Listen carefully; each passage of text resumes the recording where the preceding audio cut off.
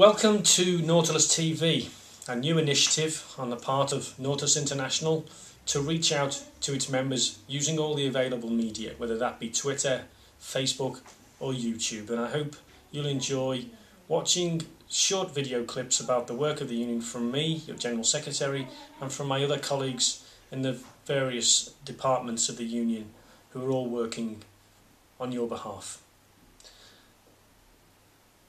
2010 has been designated by the International Maritime Organization as the Year of the Seafarer. It's going to be very important for the Union to be campaigning around this theme to highlight the key issues that matter the most to you, the members, and the issues that can have the most beneficial improvement for you for your working and living lives. I just want to cover a couple of those issues with you today. The first one I want to highlight is piracy, which for 25 years this union has campaigned, and it remains a serious problem.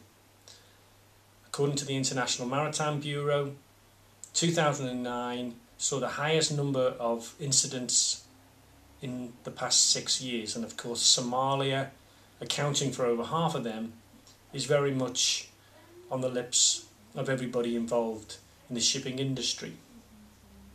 We've had a number of ships attacked, both UK and Dutch ships. In fact, two UK ships were seized over the Christmas period, and this issue continues to be one of profound concern to the Union. And we've been lobbying both the UK and the Dutch governments for effective intervention. Another issue I'd like to highlight, which concerns primarily our UK members, is our campaign to get the government to act now or we all sink. And this is a campaign to get the government to provide more financial support for the training and employment of British seafarers on the back of news that Maersk was making over 100 officers redundant and ceasing to offer employment to UK cadets. Today we had news from Maersk that there will be job losses and lost employment opportunities for young people in the Netherlands as well. So this is an important campaign in the UK and will be an important campaign in the Netherlands as well.